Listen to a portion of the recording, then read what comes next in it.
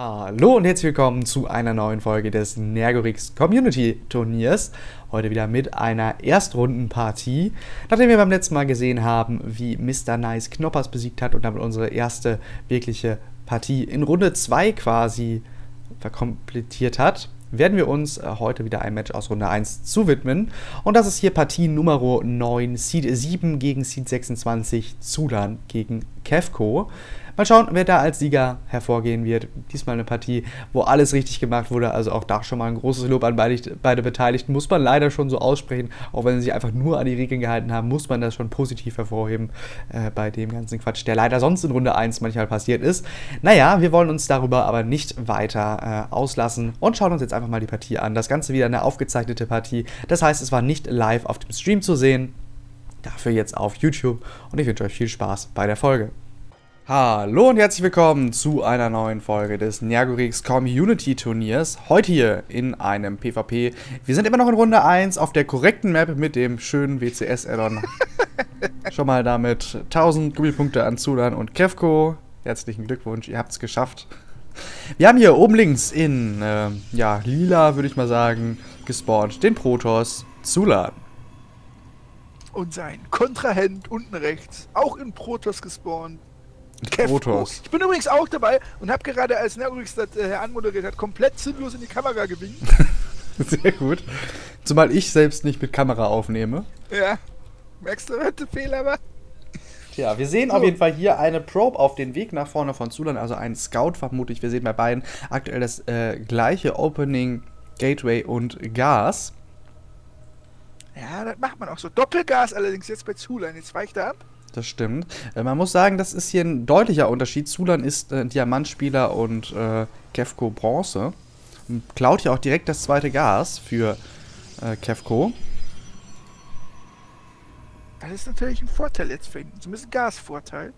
Das stimmt. Also zumindest gleich, sobald er selbst sein Gas nutzt. Scheint jetzt hier erstmal mit der Probe an die Natural zu fahren. Vielleicht möchte er da gleich den Nexus blocken. Jetzt noch ein bisschen gespannt. Der zweites Gateway jetzt hier von Zulan am Start sollte allerdings äh, darauf achten, dass er einen Cybercore baut. Den hätte er nämlich eigentlich bauen sollen an dieser Stelle. Der kommt ja, jetzt dazu. Jetzt nämlich gar nichts. Doch jetzt davon. Was macht der denn da?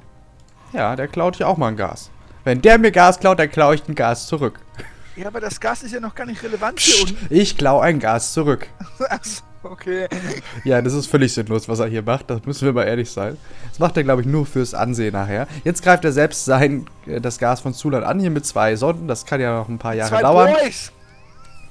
Wir sehen einen Zealot im Bau bei Kevko, der hat jetzt auch den Cybernetic-Score dazu genommen. Der Cybernetic-Score bei Zulan schon durch quasi. Damit sehen wir schon mal einen großen, großen Unterschied bei beiden Spielern. Und äh, ja, Schauen, wie sich das jetzt noch weiterentwickelt, ob sich dieser Vorteil nochmal weiter ausspielt. Jetzt Kevko jetzt übrigens mit sehr, sehr vielen Mineralien am Start. Könnte expandieren, aber da hat die Probe von Zula noch ein bisschen was gegen. Mal schauen, ob sich das trotzdem gleich dahin entwickeln wird. Neues Gateway jetzt bei Kevko am Start.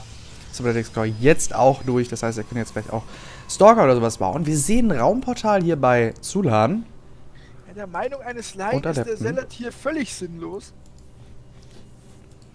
Ja, der Zealot ist halt dafür gebaut worden, um das Gas schneller abzureißen. Damit ist er nicht ja. völlig sinnlos. Jetzt haben wir hier unten einen Zealot plus zwei Boys, der, die, der das Gasgas hier...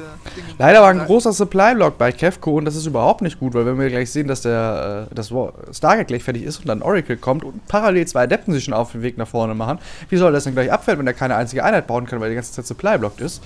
Ja. Äh, das wäre natürlich... Oh, das ist kaputt gegangen. Er baut jetzt einen Adepten, zweites Gateway gleich auch fertig. Das heißt, da kann er endlich dann gleich äh, zwei Einheiten gleichzeitig bauen. Aber die zwei Einheiten von Zulan. Theoretisch bei Kevco Long Base Mining am Gas hier verfügbar. ja, dauert aber ein paar Jahre.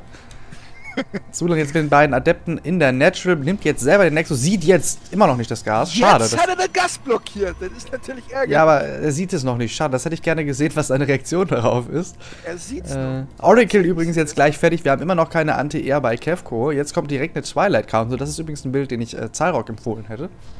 Für die Twilight Council aber keine nehmen. Robo. Ja, es wäre auch eigentlich noch schon zu spät. Aber egal. Warpgate jetzt gleich fertig bei Zulan. Bei Kevko braucht das Ganze noch ein bisschen länger. Das Oracle, das Oracle fliegt und wir haben keine Anti-Air. Das kann gleich böse enden. Wir sehen auch keinen Stalker im Bau. Wir haben keinen Mothership Core. Warpgate braucht noch 14 Sekunden. Also dieses äh, Oracle, das wird gleich Schaden machen. Ja, Parallel shaden die Adepten nach vorne. Base Trade. Ja, der hat schon, der hat schon hier Nee, nicht nach vorne. Das ist ja nicht mein Base Trade.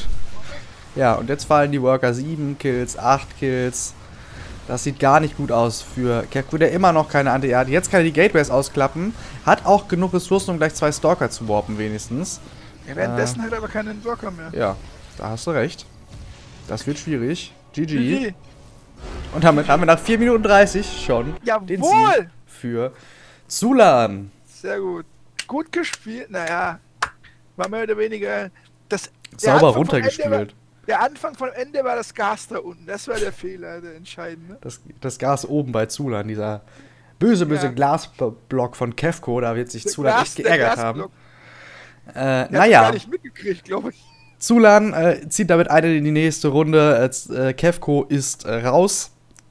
Äh, schade, aber naja, mit Diamant zu Bronze war das zu erwarten. Äh, aber mal schauen, wie das in der nächsten Runde für Zulan wird. Zulan zieht also nun ein in Runde 2, indem er hier Kevko besiegt hat. Das tragen wir natürlich auch direkt hier in den Turnierbaum ein. Jetzt haben wir zumindest einen Spieler hier in Runde 2 jeweils vertreten für, jedes, für jede Partie. Äh, wir werden natürlich noch die Gegner ausfüllen in den nächsten Partien. Wir haben ja noch, äh, wie viele Partien haben wir noch vor uns? Fünf, sechs Partien haben wir noch vor uns hier in Runde 1. Äh, sechs Folgen, also wo wir hier noch die Erstrunden vor uns sehen werden. Das war es auf jeden Fall für die heutige Folge. Ich hoffe, euch hat es gefallen und ihr schaut beim nächsten Mal wieder vorbei. Hier oben rechts könnt ihr auf die nächste Folge klicken, unten rechts für ein anderes Projekt von mir. Und dann wünsche ich euch noch einen schönen Tag. Macht's gut. Tschüss.